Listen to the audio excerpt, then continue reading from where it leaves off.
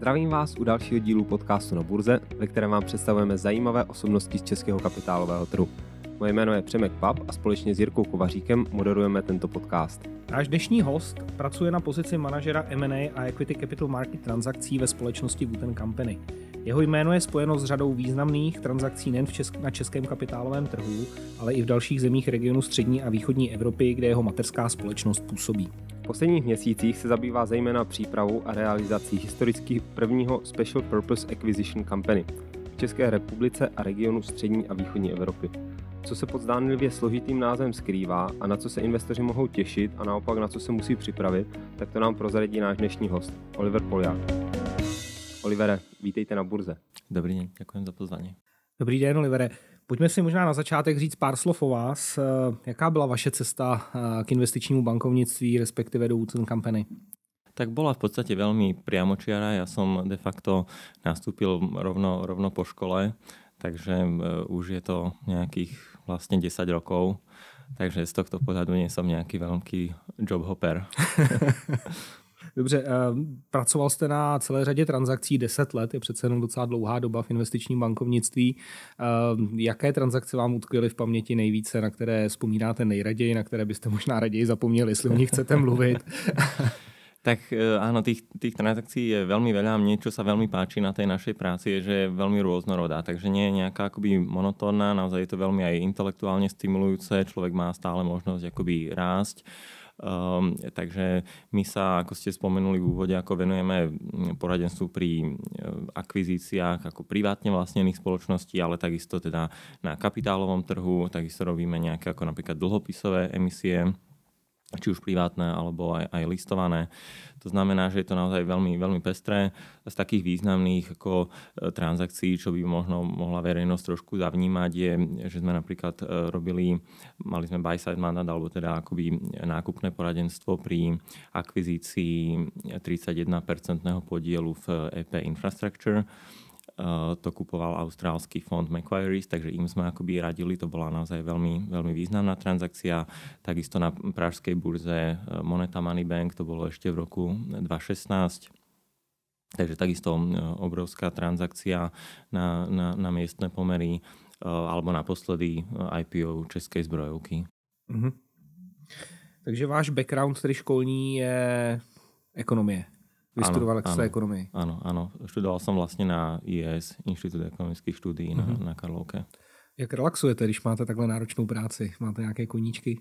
Tak áno, je to, je to, je to nutné. Všetci musíme mať nejaké, nejaké koníčky, nejak ten, ten život vyvažovať. Takže ja športujem, mám na takisto spev a, a možno ako z titulu tej práce, kde sa stále rozprávame o biznise, o peniazoch, tak čo mi veľmi pomáha ešte e, tak nejak e, dať taký balans do života je, že e, s komunitou Sant'Egidio chodíme za ľuďmi bezdomová alebo aktuálne pomáhame napríklad utečencom z Ukrajiny, tak to je, to je niečo také, kde, kde trošku mi to pomáha prísť aj na, na iné myšlienky není to naopak psychicky zase náročné a že vás to zase, zase vysává, tady tohle?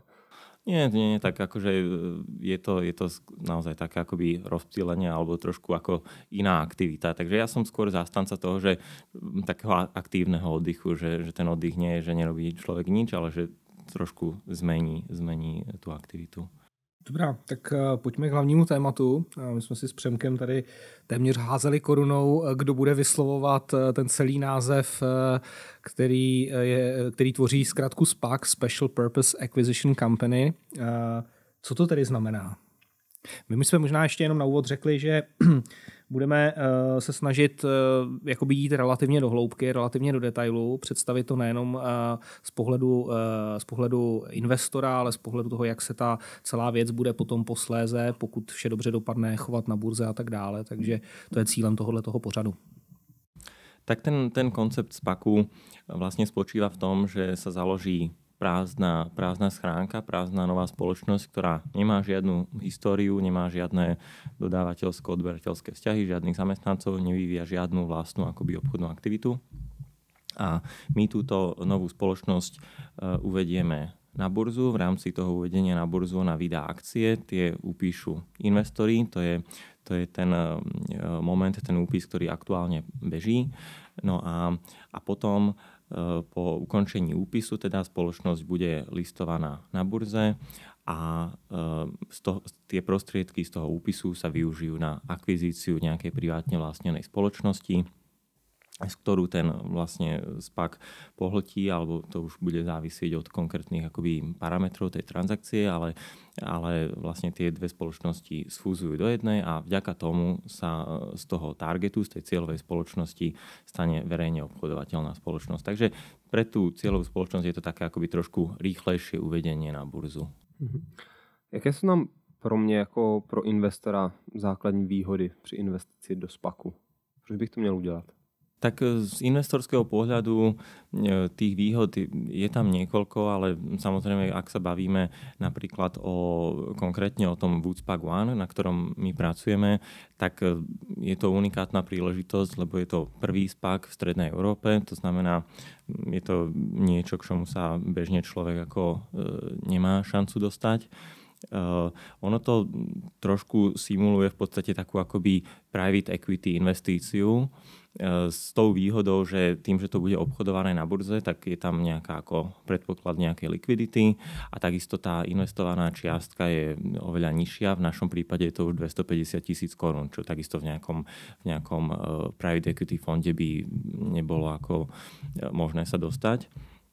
No a takisto e, si myslím, že, že tá potenciálna akoby výnosnosť toho inštrumentu bude veľmi atraktívna pre, pre investorov. My sa k tomu asi ešte ako dostaneme, ale vlastne e, investor pri, pri vstupe do toho spaku dostáva vlastne zdarma tzv. varanty, to sú akoby opcie, ktoré ho oprávňujú e, získať dodatočné extra akcie investorské a to potom akceleruje ten jeho výnos. Takže to je ďalšia taká črta, ktorá si myslím, že je veľmi atraktívna.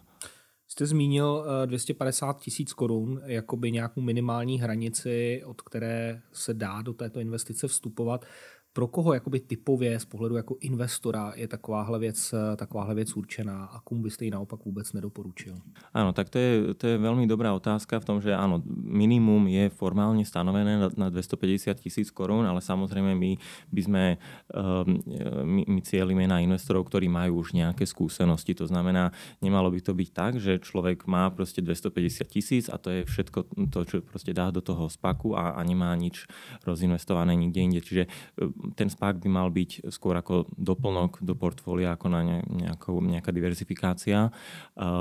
A investori, pre ktorých je to vhodné, tak sú určite tí, ktorí sú zvyknutí uh, investovať na kapitálovom trhu, to znamená, vedia si aj nejak zhodnotiť nielen ten potenciálny výnos, ale aj nejaké súvisiace riziko. Takže, takže to, je, to je tá cieľová skupina. Zmiňujete, zmiňujete rizika. Co, co jsou ty hlavní rizika, které tam vidíte? A jak se případně snažíte tyto rizika pro investory minimalizovat?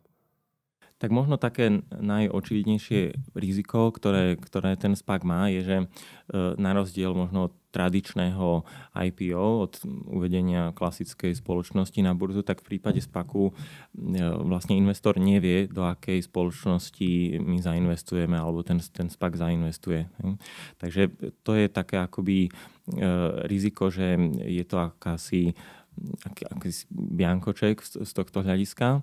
No ale toto riziko je teda efektívne eliminované tým, že uh, každý investor bude mať možnosť um, tú akvizíciu nakoniec akoby schváliť alebo neschváliť. To znamená, každý investor so svojimi akciami zahlasuje a v prípade, že teda väčšina investorov to odsúhlasí, tak iba vtedy, vtedy je možné vlastne s tou, s tou transakciou akoby postúpiť ďalej a ju zrealizovať. A uh, čo je dôležité, je, že každý hlasuje so svojimi akciami samostatne, to znamená, nemôže byť prehlasovaný. Uh, Wood Company predstaví parametre, konkrétne parametre tej transakcie a v prípade, že vy ako investor máte svojich 250 tisíc korún a s týmito akciami zahlasujete proti, tak my vám vlastne ten vklad vrátime a, ale tá transakcia, ak, ak napríklad ostatní investori budú za, tak ona akoby prebehne akurát proste už bez vašej účasti, to znamená ten, ten objem bude to potom trošku menší. Okay, asi k tomuhle tomu jakoby detailnějšímu rozboru se dostaneme, ale uh, z mého uh, chápání tedy ten SPAC má vlastně jako dva nějaké životní cykly. Ten první je před tou akvizicí té cílové společnosti a ten druhý je potom po té akvizici. Existuje nějaká statistika, protože víme, že ten SPAC je velmi populární nástroj, zejména v Spojených státech. Existuje nějaká statistika toho, že se nepodařilo eh, dosáhnout té akvizice a kolik procent třeba eh, z těch založených SPACů eh, jakoby nedosáhlo toho, toho kroku dvě kdy, kdyby prostě našlo nějakou cílovou, cílovou společnost. No a ako hovoríte, ten, ten trh je rozvinutejší v Amerike, takže tie štatistiky, o ktoré sa vieme oprieť, vychádzajú primárne z amerického trhu. Tam sa to aktuálne zastabilizovalo na nejakých zhruba 5%. Je, je, sú objem tých spakov, ktoré, ktoré ten target nenašli a, a museli vrátiť prostriedky investorom. Ehm, samozrejme je to spôsobené aj tým, že minulý rok a ešte v roku 2020 povznikalo tých spakov veľmi veľa, len za minulý rok okolo 650 v Amerike. To znamená, že logicky potom, keď ten, ten um, objem tých uh, cieľových spoločností, ktoré oni ako hľadajú, tak je nejakým spôsobom limitovaný a tým pádom to spôsobuje to, že nie na každého sa ako keby ujde. To je niečo, čo si myslím, že v našom prípade napríklad akoby nehrozí, keďže je tu široko ďaleko prvý a jediný spak, takže tento problém si myslím, že mať nebudeme. Hmm. Když jsem se díval na tu statistiku, kterou zmiňujete, ten jakoby nárůst toho počtu spaků je jako opravdu raketový, že v loňském roce nějakých těch 650, ale do února, co, co byly poslední čísla, co jsem viděl, tak tam bylo jenom nějakých 25 založených nových spaků. A nejdete trochu s křížkem po funuse, nebyla to jako taková módní záležitost, která vyletěla v době levných peněz, kdy nebylo do čeho investovat a teď to zase jako umře, nejste už na tom trhu pozdě s tím trochu? Tak uh, určite, že tie spaky získali uh, v Amerike po tom ohromnom búme aj nejakú akoby negatívnu reputáciu a to nie len kvôli tým pár percentám uh, spakov, ktoré nevedeli nájsť target, ale vlastne E, primárne vďaka tomu, že plno spakov, ktoré ten target našli, tak to kúpili príliš draho kvôli tomu, že samozrejme bola veľmi veľká konkurencia, ale ako som naznačil tým, že e, u nás vlastne v celej strednej Európe by toto bol prvý, prvý a jediný spak, tak tam z tohto hľadiska tá konkurencia akoby vôbec nie je. Myslím si, že to môže byť v tom ekosystéme celkom veľmi pekný doplnok.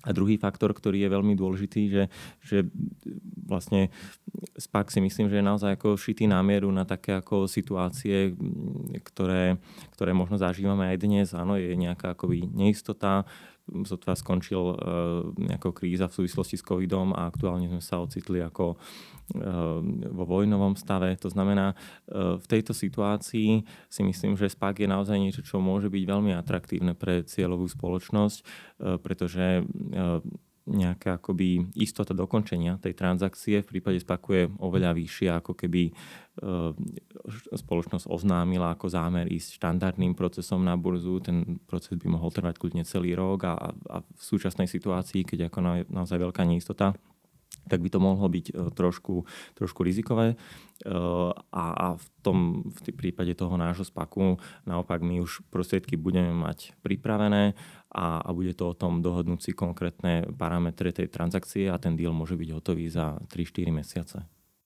Říkal jste cílová společnost. Na jaký typ společností vlastně, vlastně cílíte? Obor, velikost, majorita, minorita? jak, jak, jak, to je, jak je to vlastně poskládáno? Tak e, zameriavame sa na spoločnosti zo Strednej Európy. Primárne e, môj odhad je, že na takých 70-80% to bude nejaká česká spoločnosť, možno slovenská, možno, možno z regiónu teda širšieho Strednej Európy, ale, ale uh, chceme ostať túto v týchto našich končinách.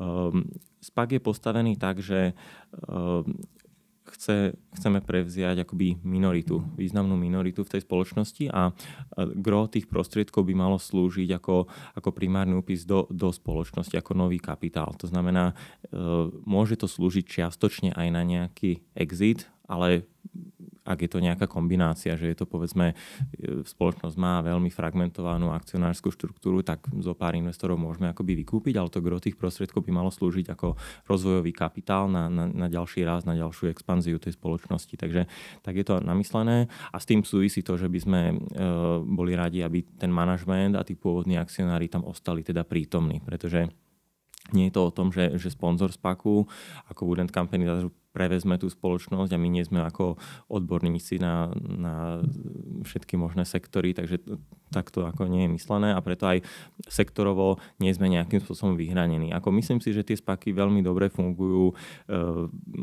nejakými ako sektormi tej novej ekonomiky, či už nejaké ako technologická firma, e-commerce a podobne. E, ale, ale inak budeme hľadať ako najlepší deal pre investorov a ak to bude aj nejaké ako tradičné odvetvie, nejaký ako strojírenský biznis, tak to takisto môže určite dávať veľmi dobrý zmysel. A e, čo sme vyslovene akoby vylúčili, boli také tie ako hazard, um, možno nejaký sexuálny priemysel, drogy, podobne, tak tomu by sme ako sa nevenovali. A případná velikost akvírované společnosti? Um, my budeme mať v tom spaku odhadom nejaké ako stovky miliónov korún.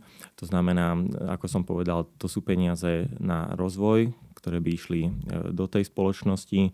To znamená, e, to môže byť firma, ktorá potom bude mať e, trhovú kapitalizáciu napríklad 1 miliardu korún.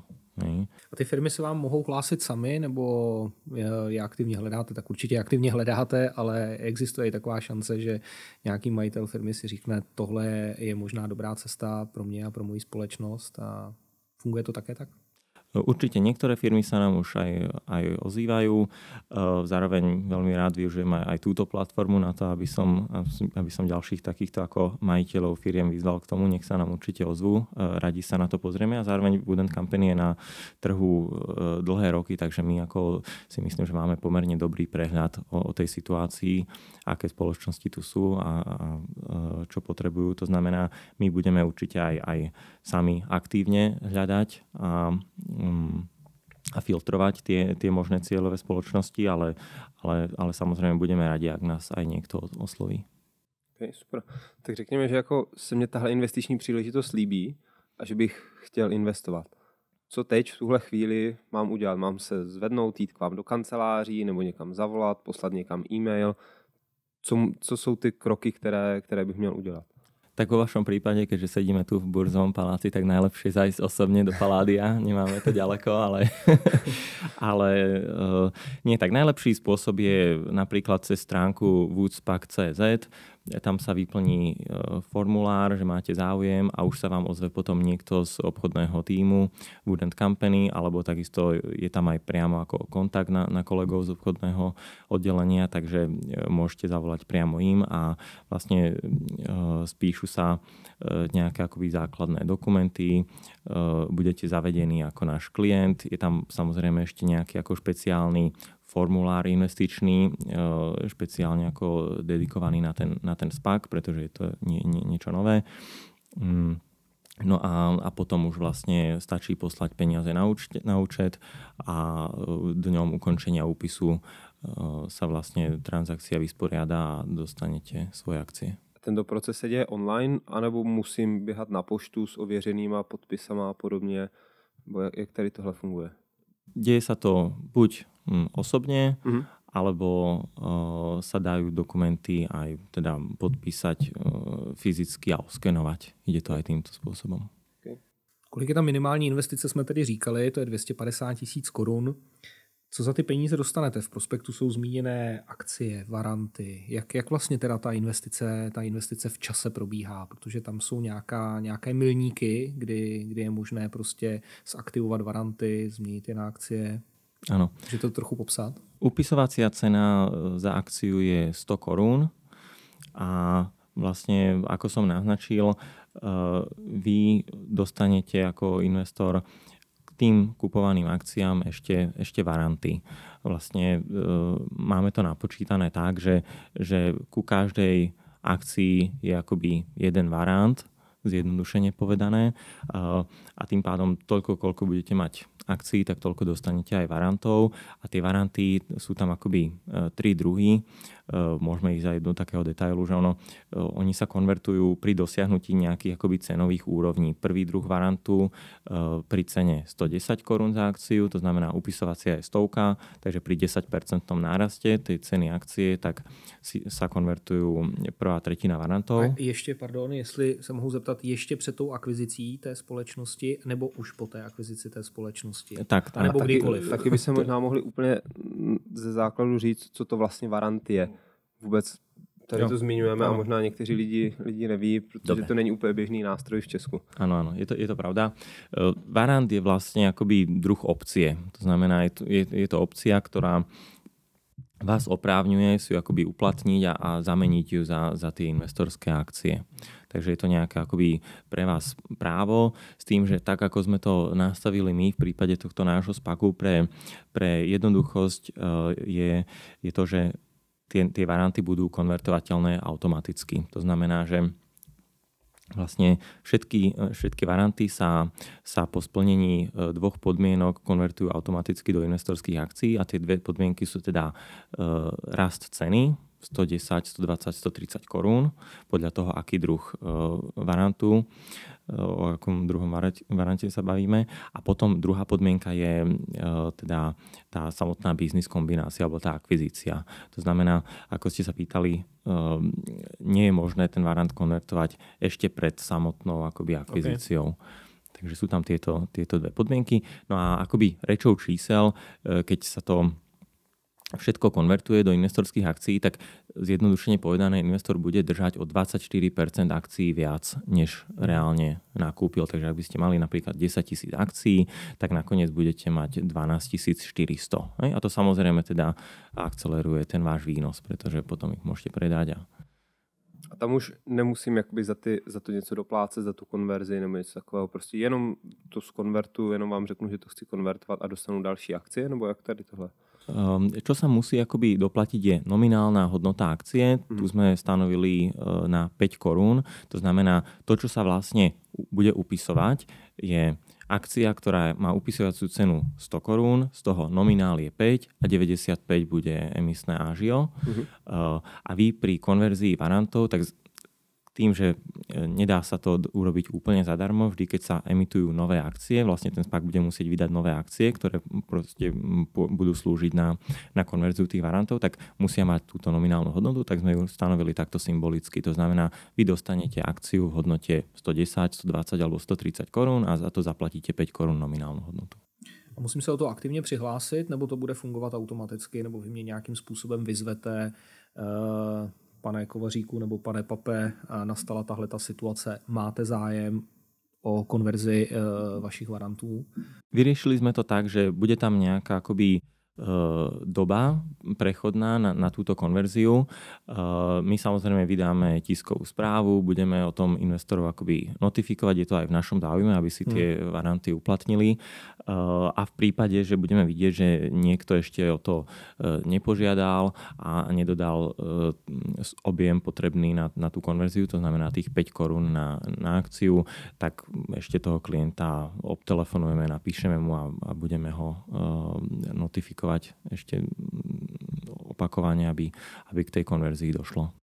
A v případě, že já z nějakého důvodu nestihnu do toho nastoupit v tom upisovacím období, které za chvíli končí, a koupím si ty akcie na trhu. Budu mít nárok na ty varanty, nebudu mít nárok. A jak tohle funguje? Tak to je, to je takisto veľmi uh, dobrý dotaz.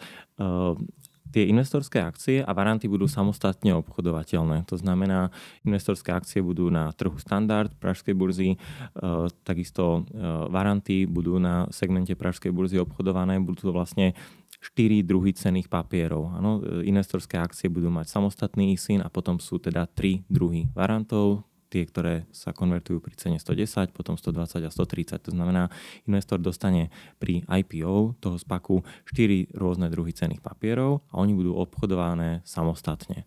To znamená, e, rozdiel e, pre vás ako investora, ktorý vstúpi až po IPO, je, že vlastne vy si môžete e, tie akcie kúpiť aj na trhu, pokiaľ tam samozrejme bude likvidita a pokiaľ bude niekto ochotný predať. Ano, ale už v tom prípade akoby e, nedostanete ten varant, pretože ten by ste si museli znovu samostatne kúpiť e, z trhu.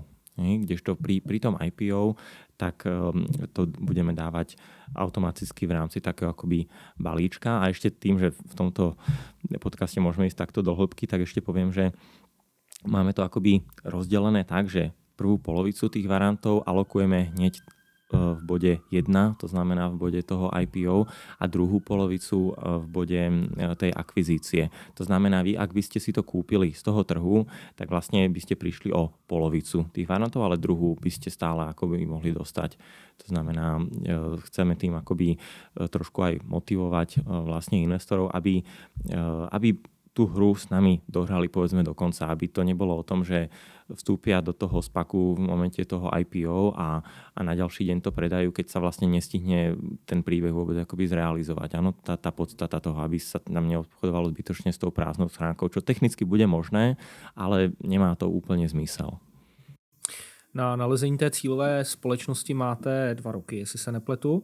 A co se s těmi penězi děje v mezidobí? Máme poměrně vysokou inflaci, tak asi každého zajímá, co, jestli se ty peníze budou nějakým způsobem úročit, nebo co se s nimi vlastně děje. Áno, to je, to je určite niečo, čo sme, čo sme riešili, obzvlášť teda optikou tých časov, ktorých, ktorých sa nachádzame aktuálne, tak peniaze budú na viazanom účte a bude tam aj, aj nejaké ako úročenie, ktoré proste zodpovedá, zodpovedá tým trhovým podmienkam, ktoré aktuálne sú. To znamená, že to, ako sa bude zhodnocovať potom ten, ten, ten escrow účet, ten viazaný účet, tak všetky tie prostriedky, ktoré tam investor alokuje, plus teda ten, ten e, nabehlý úrok, tak to bude potom využité na tú, na tú akvizíciu. Respektíve, ak investor požiada o vyplatenie s tým, že nebude súhlasiť, tak zase dostane ten svoj vklad naspäť a plus, plus ten úrok. Aktuálne to bude okolo tých 5% alebo tak, ako bude sa to vždy odvíjať proste od, od sadzby ČNB. Sú tam i nejaké poplatky pro investory? Tak poplatok, ktorý tam vlastne je, je to, že uh, my e, dávame na ten escrow účet 99% toho vkladu. To znamená, my garantujeme investorovi, že sa mu vráti 99% plus teda úrok, to znamená, reálne to samozrejme bude cez, cez 100. Ehm, a to, to 1% je akoby e, implicitne vlastne ten, ten poplatok. Takže ve chvíli, kdy vám se třeba nepodaří vybrat tu společnost, anebo i já s tím nebudu souhlasit, tak vy mě vrátíte vlastně peníze plus nějaký naběhlý bankovní úrok. Áno, presne tak. Vrátili by sme vám vlastne 99% vášho vkladu plus teda úrok, ktorý by tam nabehol za, ten, za ten rok, dva. A když se mi nebude ten akviziční cíl eh, líbit, vy jste už to naznačil, vy se mě jako investora zeptáte, jestli chci tedy se té investice účastnit eh, v těchto daných parametrech a já mohu odmítnout ten moment pro mě celá ta investice končí, vy mi vracíte peníze a a případně jak to... probíhá zase ten způsob toho odmítnutí? Je to, že musím někam fyzicky dojít na nějakou valnou hromadu, nebo pošlu dopis, nebo v nějakém online systému zakliknu nesouhlasím? Tak eh, to, to technické riešenie eh, ešte, tak je to niečo, čo vlastne sa mm, bude riešiť v horizonte dvoch rokov, takže samotné technické riešenie ako eh, ešte nie je úplne ako presne doladené. Samozrejme nebudeme asi trvať na tom, aby bolo nutné ako fyzicky niekam chodiť, takže nájdeme spôsob, ako to, ako to spraviť aj virtuálne. My budeme potrebovať 75% akoby majoritu, to znamená v prípade, že by sme ju nedosiahli, tak potom vlastne e, sponzory SPAKu hľadajú ďalší akvizičný target, ale samozrejme v rámci tej dvojročnej doby, ak by sa to nepodarilo behom dvoch rokov, tak celý SPAK sa akoby rozpustí a, a prostriedky sa vrátia investorom. Ale ak by sme napríklad, ak by nastala situácia, že po roku predstavíme target a získame zaň iba neviem, 50% akcionárov, tak to znamená, že e, tá transakcia neprejde a my máme ešte ďalší rok, aby sme akoby hľadali. No a v prípade, že by napríklad bolo ako 80% investorov za, z tých, ktorí sa teda zúčastnia, tak e, to znamená, že my budeme mať akoby green light na to, aby sme ten SPAC alebo tú transakciu zrealizovali.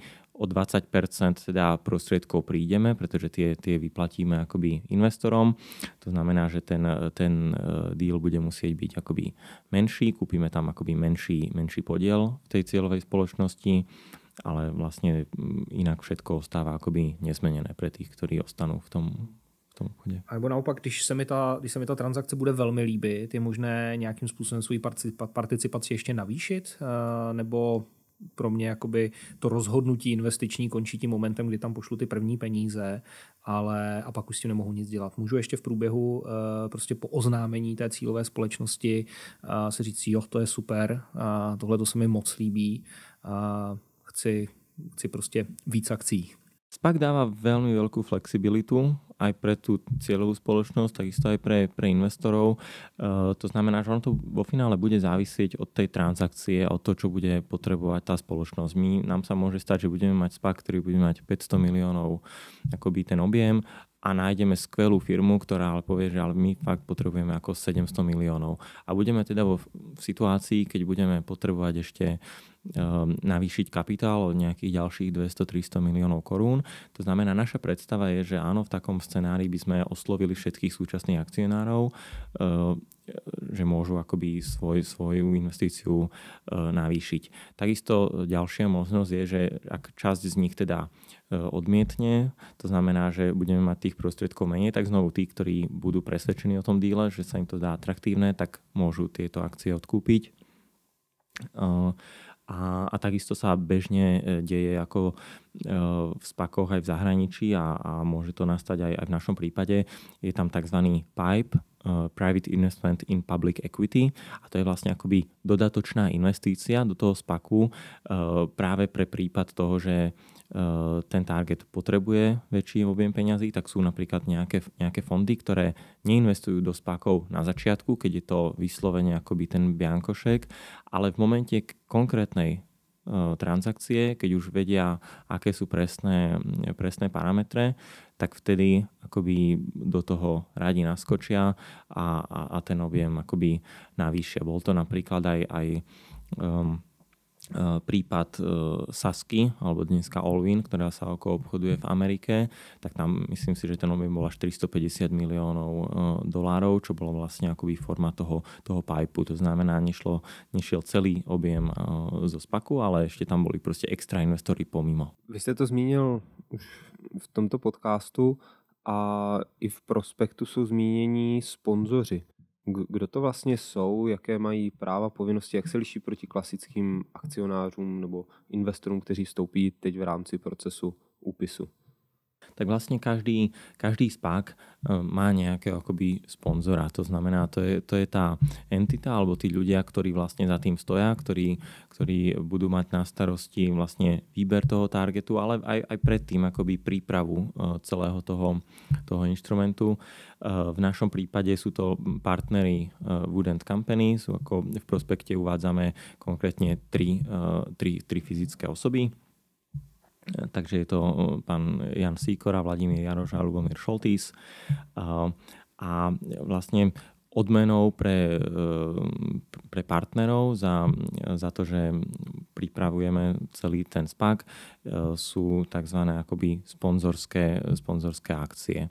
A sponzorské akcie sú vlastne akcie, ktoré sa konvertujú do investorských akcií a podobne ako v prípade tých varantov, tak sa konvertujú uh, až po um, dosiahnutí nejakých akoby milníkov naviazaných na cenu.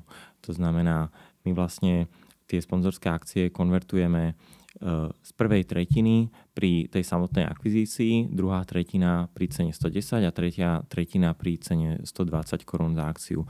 To znamená, je tam do veľkej miery akoby zosúladené alebo zosúladený ten záujem toho sponzora a tých investorov. Pretože ak by cena akcie po, po tej akvizícii nerástla, tak ani, ani tí sponzori si vlastne nemôžu konvertovať tie svoje akcie do, do investorských a tým pádom by vlastne na tom akoby nejak veľmi nebenefitovali, pretože nemali by ich ani ako predať a nič. To znamená, tá, tá, tá konečná ako ten konečný zisk pre sponzora spočíva v tom, že cena akcie sa zhodnotí, investori na tom zarobia a, a sponzorovi sa umožní si vlastne vymeniť svoje sponzorské akcie za, za investorské a tie potom samozrejme môže, môže predať. A ty sponzorské akcie nejsou z začátku teda obchodované? Nie. Hmm. Jak se vlastně spak daní? Eh, máme v České republice tříletý daňový test. Víme, že teda to období akviziční nebo to konverzní může trvat až dva roky. Pak nastane v nějakém tomhletom časovém prostoru ta konverze. Maže se tím ten daňový test, anebo ten daňový test jakoby běží od toho momentu, kdy já uh, získám vlastně akcie Woodspack One a ještě před tou konverzí a, a vlastně jakoby běží ten daňový test eh, po celou tu dobu životnosti té, té investice? Áno, ten, ten daňový e, test by mal bežať po celú dobu e, tej investície, pretože od, od prvého momentu ten SPAC vlastne bude obchodovaný na burze ako každý iný akciový titul. Tam akoby v tomto zmysle nie je žiadny rozdiel. A má tu stejný ISIN vlastne áno. akoby od začiatku do konce. Áno. A potom samozrejme bude záležať, akou formou presne prebehne tá transakcia a čo bude tá entita, ktorá vlastne zostane Uh, pretože tá, to, ako my definujeme tú biznis kombináciu, to môže byť akože naozaj celé spektrum situácií. Môže, môže nastať situácia, že ostane na burze listovaný SPAC a ten kúpi nejaký podiel v tej privátne vlastnenej spoločnosti, ale treba z nejakého dôvodu ešte dočasne nesfúzujú. My by sme určite chceli, aby sfúzovali do jednej entity, ale nadefinované to máme naozaj široko, aby sme pokryli celé spektrum akoby možných, uh, možných situácií. Uh, ale, ale v každom prípade ten, ten časový test ako na toto vplyv nemá. To znamená od, od prvého momentu, čož aktuálne bude teda 9.5. E, máme ako moment uvedenia na trh, tak od toho to bude ako oficiálne e, štandardne listovaný titul ako každý iný. Můžete třeba zmínit nějaké úspěšné SPAC transakce ze světa? i třeba nějaké konkrétní, konkrétní jména, nebo to, to, co se povedlo, takové ty nejzářivější příklady? Tak um, pre, pre českých divákov najznámejší aktuálne uh, bude práve tá Saska alebo ten, ten Allwin, takže to je, to je vidno, že vlastne ten koncept už preniká aj, aj touto cestou, cez tie cieľové spoločnosti do, um, do nášho regiónu. Veľmi známy bol ten ako Virgin Galactic uh, Richarda Bransona. Um, z Woodend Company vlastne robíme tento SPAC ako prvý v Strednej Európe, ale, ale e, nevymýšľame všetko od nuly. My vlastne na tom spolupracujeme s kolegami z organizácie Oaklins a oni už tých spakov robili e, vlastne 6. Začali s tým ešte v roku 2013, takže naozaj ako my sme ešte v tej dobe vlastne si mysleli, že to bude nejaká značka kečupu, ten spak, ale ako, e, a, a kolegovia z Oaklins už urobili prvý spak v Miláne, teda v tom roku 2013 a, a boli to všetko ako veľmi úspešné spaky. E, najviac sme sa aktuálne inšpirovali kolegami z Holandska, ktorí zalistovali dva spaky v Amsterdame a prvý z nich Dutch Star Company Swan, on sa spojil so spoločnosťou mm, cm.com, to je ako telekomunikačná spoločnosť a veľmi pekný akoby príklad toho, kde oni e, vlastne išli na, na trh cez tento SPAC v roku 2020 na jar cez tú prvú vlnu covidu,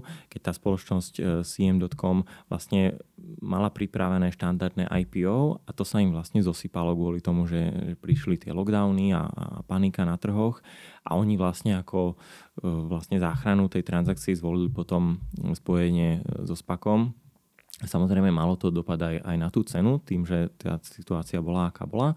No a to samozrejme potom tí naši kolegovia vedeli veľmi dobre využiť a, a, a vďaka tomu, e, že to kúpil ako veľmi výhodne, tak pre investorov vedeli priniesť zhodnotenie, myslím, okolo 200%. Takže naozaj to bol ako veľmi úspešný spák a ukazuje to, že je, je to niečo, čo, čo má paradoxne práve zmysel v takýchto ako neistých časoch, hej, keď je nejaká ako nestabilita na trhu zvládnete třeba z hlavy i nějaký další výnos těch jako ostatních spaků, které jste zmínil, jaké tam bylo zhodnocení pro investory? Tak e, najbližšie, e, ako viem, okomentovať tie, tých našich kolegov z Oaklands, takže tam to všetko bolo ako v dvojciferných, e, dvojciferných číslach od 50 do tých nejakých akoby 200%, ale samozrejme treba si uvedomiť, že aj my komunikujeme investorom, že ten investičný horizont je 3 až 5 rokov. Áno, netreba očakávať, že všetko to bude proste za rok, ale aj naša ako naša stratégia alebo ten cieľ je, že by sme chceli, aby, aby všetky tie varanty sa investorom konvertovali. A to znamená, ak by cena, cena akcie narastla o tých 30% a vy máte teda vďaka tomu možnosť konvertovať všetky varanty, tak výnos pre investora je až 60%. A to je určite niečo, čo by sme chceli akoby dosiahnuť, aby, aby všetci investori mali konvertované tie varanty, ale či sa to podarí akoby v tom horizonte proste jedného roka, alebo troch, alebo piatich, to už je samozrejme veľmi ťažké odhadnúť. Spaky jsou velmi populární ve Spojených státech, konec konců tam eh, tady, tato, eh, tady tenhle ten vehicle nebo, nebo, nebo způsob vstupu na, na burzu vznikl. Máte nějaký, nějaký, nějaké povědomí o tom, jak je na tom Evropa versus Spojené státy, co se týče počtu takových transakcí? tak tie počty sú naozaj ako veľmi, veľmi výrazne eh, v prospech Ameriky. Tam ich bolo minulý rok 650 a v Európe 40, čo ako funguje relatívne dobre je Amsterdam, takisto akoby v Londýne, eh, ale inak si myslím, že častokrát sú ako e, možno regulátori v Európe trošku konzervatívnejší a myslím si, že je to aj, aj veľmi dobrá ako vizitka tu ČNB. Máme tu skúsenosť, že boli veľmi takí ako mm, business oriented, povedzme, že samozrejme bolo to nové, ako ten proces trval dlho, ako uvedenie toho alebo napísanie toho prospektu Um, a schválenie toho prospektu ako e, trvalo dlhšie, než sme, než sme pôvodne očakávali, ale, ale, ale zároveň e, nenarážali sme na nejaké akoby e, zbytočné prekážky alebo veci, ktoré by nás nejako umelo brzdili. A, a ten, tú spätnú väzbu, ktorú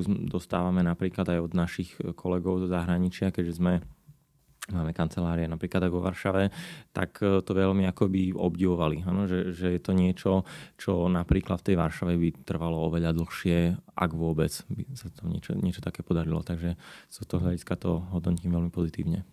Myslíte, že tímto spustíte vlnu spaků ve střední a východní Evropě? Že, to, že jste to očpuntovali v tuhle chvíli a teď to pojede jedno za druhým?